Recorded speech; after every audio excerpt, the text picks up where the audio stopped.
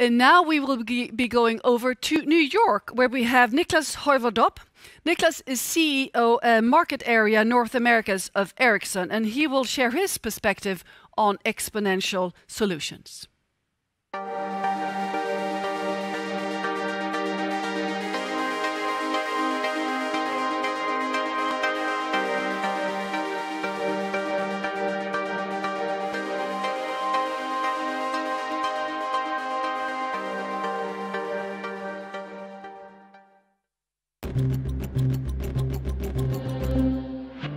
Meet Niklas Heuveldop. Niklas has worked with Ericsson for more than 25 years, as well as having led a variety of venture capital-backed technology startups. Now he is CEO of Ericsson North America. Climate change is real, and it is having devastating effects today. 2019 was the second hottest year on record, according to NASA and NOAA. As I stand here today, we have dozens of wildfires raging across the West Coast, millions of acres of forest devastated, dozens of lives consumed. Another worrisome indication of climate change is natural disasters, and we've seen an escalating trend in severe weather conditions. In 2019, the damages caused by hurricanes and other severe weather conditions cost the U.S. $45 billion.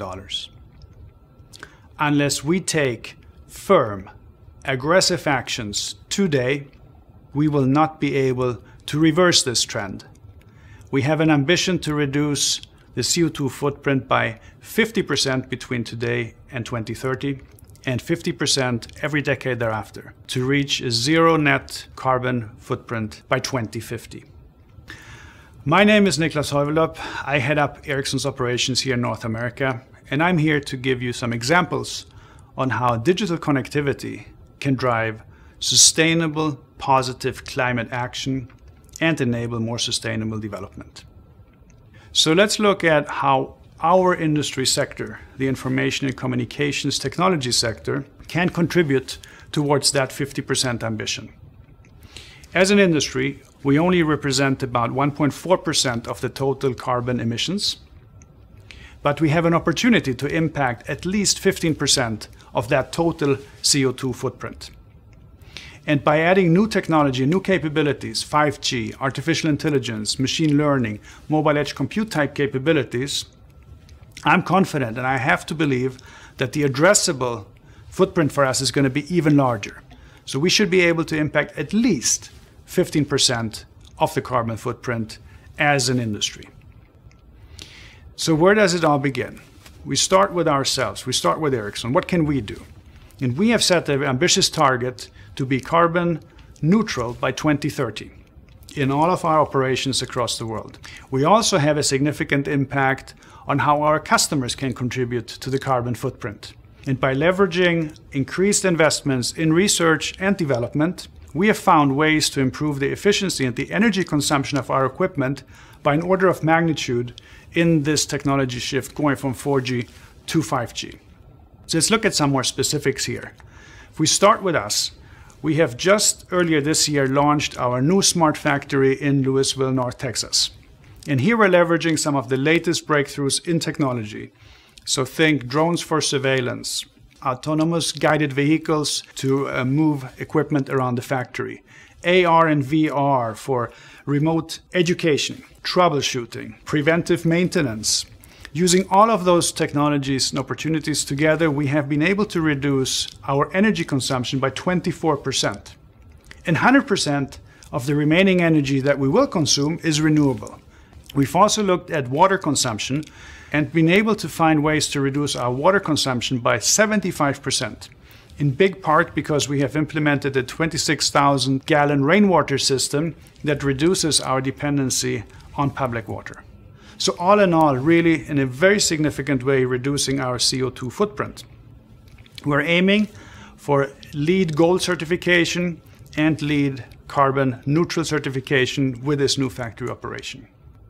If we look at the challenge that we're trying to address as an industry, which is basically a five-fold increase in network demand and network capacity between now and 2025. And we've seen for every generation an increasing demand for incremental bandwidth and capacity. We drive about $25 billion worth of energy consumption for our customers. And this is a trend we've been on now for a couple of generations, where each subsequent generation increases the capacity and throughput, but also the energy consumption. Thanks to the R&D that we have been working on for the last 10 years, we now finally have found a way to break the energy curve. With our latest generation radio platform, which we have been deploying since 2016, the Ericsson Radio System, which is also capable to carry 5G traffic, we have found a way to reduce the energy consumption up to 30%.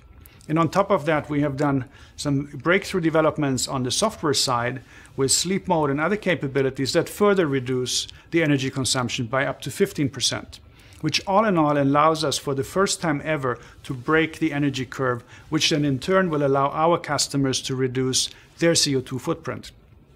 And many of our customers already today have deployed uh, a lot of these capabilities and are committing to uh, renewable energy in the process. So, a lot of activities in our sector, the telecommunications sector. If we look at what we can do together with our customers now addressing other industries, let's take transportation as an example. We did a pilot project here together with the Swedish operator Telia, Schenker, Freight Forwarder, and Einride that produces driverless autonomous trucks. And here the initial results are very encouraging, leveraging our combined technology assets, 5G network capabilities. Uh, Einride has seen an opportunity to reduce their emissions by up to 90% using renewable energies and leveraging these capabilities.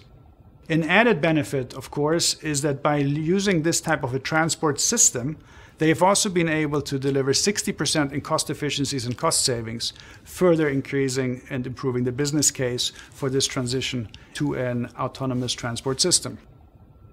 An additional benefit of using these type of technologies and capabilities is that we should be able to drive towards a zero tolerance on fatalities in traffic as well. Every year, 1.25 million people die in traffic accidents, and I think we should take on that challenge as well. The foundation for sustainable development is really education. And during the COVID crisis, the digital divide has been amplified and exposed a significant challenge that we also need to tackle.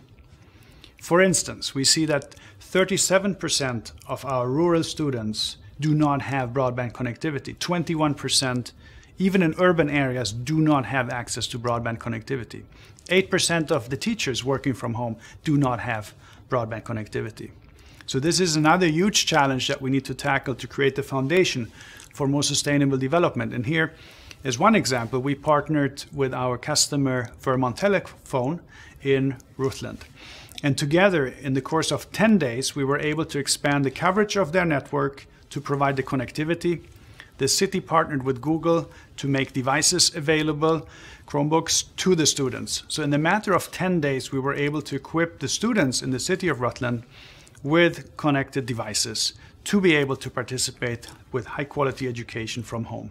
Just one example of many how we, if we come together as an industry, can really make a difference and create a platform for more sustainable development.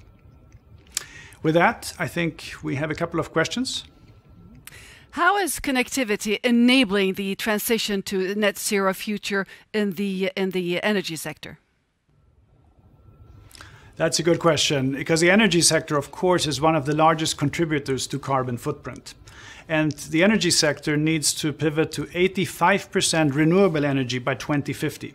And to do that, we need to move to a much more distributed network of smaller generators, solar farms, wind farms, and we also need to be able to to uh, work in, uh, in, two two ways. So smart grids will be a big part of the solution, where you will use sensors and intelligent devices to monitor the network traffic. So as uh, consumers come home at night, the energy patterns in the net in the grid shift, and intelligent technologies with connected devices will allow you to distribute the energy to where you need it. And as a matter of fact, even recycle it so that when you're not using the energy that you may be producing in your private solar panels, you can feed it back into the smart grid. Another aspect of the production is that with a lot of smaller power generators, you also have a highly distributed network that becomes more difficult to manage and to ensure that you don't have any downtime in any of those sites. So here again, connected devices, preventive, proactive, prescriptive maintenance to prevent uh, catastrophic failure of any of those devices also becomes a critical aspect of keeping the efficiencies in that highly distributed uh, energy production grid uh, optimized at all times. So technology will play a major role in enabling the energy sector to pivot to a much more distributed production model? Thank you. Good question. You talked already about the transport and the and the energy sector. Uh, what can connectivity do for the industry? You mentioned the 5G. Yes, that's another good question. Manufacturing and the industrial sector is, of course, another big contributor to carbon footprint. And here there is a really good example in, for instance, the turbine manufacturing, which is a high precision milling process where we uh, worked with one of our partners and installed sensors, uh, very precise sensors on the turbine. So we were able to detect micro vibrations long before they created any damage to the turbine and it would have uh, become waste essentially. So that allows us to stop the process, recalibrate, and then continue the milling to produce high quality uh, turbines for aircraft engines. And the effects from a CO2 perspective have been phenomenal. So when we looked at the aggregate footprint of this particular uh, production company, the impact was direct impact of increasing the yield and not having to uh, generate waste by machines breaking in the process was about 16,000 metric tons of CO2 in increased production efficiencies. Now, the indirect effect is probably more impressive. By producing better quality turbines, uh, this um, company was able to deliver 1 to 2% better fuel consumptions for the aircraft engines that these turbines power. And that in turn means 16 million metric tons of CO2 reduction per year which more or less corresponds to a city of 1.2 million inhabitants. So, say the city of Stockholm's CO2 footprint reduced by these type of uh, improvements in the manufacturing process. So, truly, truly impressive. Thank you very much, Niklas. What concluding remarks do you have for us? So, in summing up, climate change is real. The effects are visible and unless we take exponential climate action here and now, some of the effects may be irreversible for generations to come. We absolutely can, if we come together across industries, make a profound impact on the carbon footprint, and there is no reason why we shouldn't be able to deliver a 50% reduction between now and 2030 to get to the 0% net addition by 2050. The technologies are available. We, as a telecommunications industry, and I speak on behalf of Ericsson and our customers with confidence, are fully committed to driving exponential climate action on our behalf. We owe it to our next generation, our children. So I'm counting on all of you to come together as one and take resolute action here and now. Thank you.